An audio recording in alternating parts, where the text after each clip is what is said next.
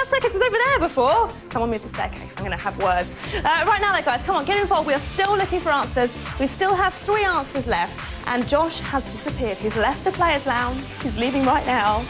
Uh, but we're looking for somebody else to come through and to win a cash prize here on the show. What do you think? Underwear, understand, three more answers. Mel, you've got Now mail. you're texting me. Check out the email. Keep playing, guys. You can still win. Uh, right now, we have two emails to show you. Travis from Flint, Michigan. Mel. Great start. The TV character that I'd like to be would be Conan O'Brien. That way, I could be the host of the biggest event on television besides PlayMania. I'm pleased you got that in there. You saved yourself there, Travis. Uh, plus, I could meet guests. How cool would that be? Pretty cool. Travis, not as cool as being on this show, though, eh? No.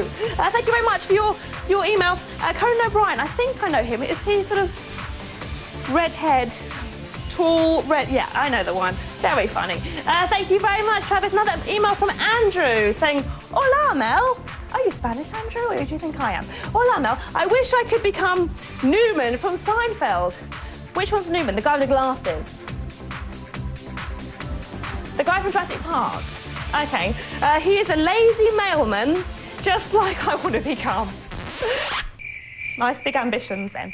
Um, it says, plus my neighbour's name is Jerry. It all makes sense. Uh, just like the show from Andrew. Thank you very much, Andrew. I hope your dreams come true and you do become a lazy postman. I really do. Thank you very much. Uh, keep them